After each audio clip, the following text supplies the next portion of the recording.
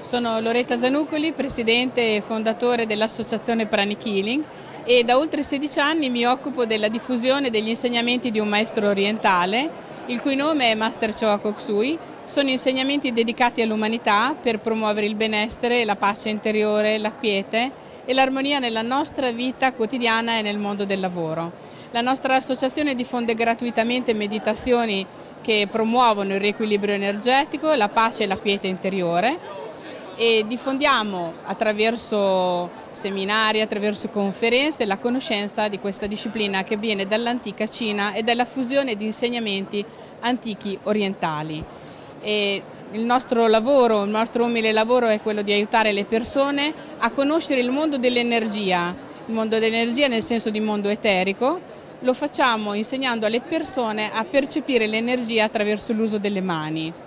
Questa percezione è possibile a tutti Infatti i bambini sono sempre più pronti e più spontanei in questa percezione. È molto facile, molto semplice. A che cosa serve sentire le energie? Beh, esattamente cosa serve sentire se il tempo è freddo, è umido, è caldo, se l'aria può avere un odore gradevole oppure no. Le energie prana o energie vitali nel loro termine più moderno sono quelle importanti nella nostra vita per sostenere la vita fisica, la vita eterica, la vita emotiva, quindi è fondamentale in questo percorso riuscire a percepire se c'è una quantità sufficiente di prana, se ce n'è troppo, oppure se la quantità è sufficiente e corretta per vivere. Col tempo, con l'esperienza, si può anche definire la qualità energetica, quindi diamo per scontato che ci sono luoghi che hanno una qualità adeguata, idonea ad una vita salutare perfetta, oppure ci sono ambienti con una qualità energetica diciamo un pochino meno positiva, può esserci dello stress in un ambiente, quindi arriviamo con la meditazione,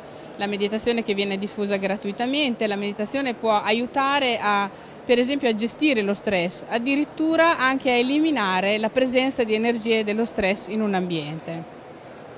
Facciamo un sacco di altre cose, questa tecnica oltre ad insegnare a percepire l'energia, insegna anche come individuare all'interno dell'aura, che è la struttura energetica che compenetra il corpo umano, se c'è sufficiente presenza di energia vitale oppure no. È importante che ci sia un livello di prana e di energia vitale sufficiente perché questo consente alle persone di avere non solo la sensazione di essere forti e sani ma anche di esserlo veramente. Il nostro obiettivo sarebbe quello di promuovere la prevenzione in campo energetico, è sempre meglio dare un'educazione prima che i danni intervengano e la conoscenza del mondo energetico ci consente anche di capire per esempio negli alimenti se c'è un contenuto energetico adeguato a quell'organismo.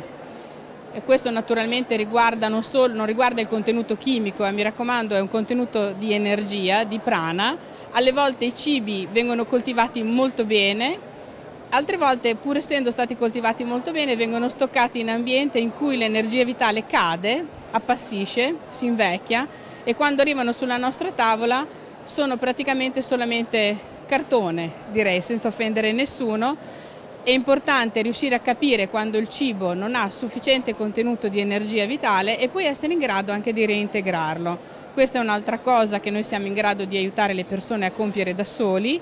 cioè quando non c'è sufficiente energia vitale in un ambiente, in una struttura eterica o nel cibo, come dicevo poco prima, essere in grado di trasferire energia vitale che può essere catturata dall'ambiente in cui viviamo e trasferita nell'elenco che ho appena fatto. 16 anni fa in effetti era un argomento molto particolare, eh, erano interessate molto le persone che pensavano che fosse un aspetto religioso della nostra vita ma non c'entra assolutamente niente, oppure pensavano che fosse un ambito relegato all'ambito superstizioso. In realtà in questi 16 anni con il nostro maestro abbiamo avvicinato e collaboriamo con il mondo scientifico in tutto il mondo pensando che negli Stati Uniti questa disciplina è inserita in alcuni ospedali di alcuni stati, in India ci sono cliniche di pranic healing e il pranic healing in moltissimi stati nel mondo è inserito nelle scuole sotto forma di super brain yoga, che è una delle discipline che appartengono alla nostra disciplina del pranic healing e addirittura aiutano a migliorare i rapporti con i ragazzi che soffrono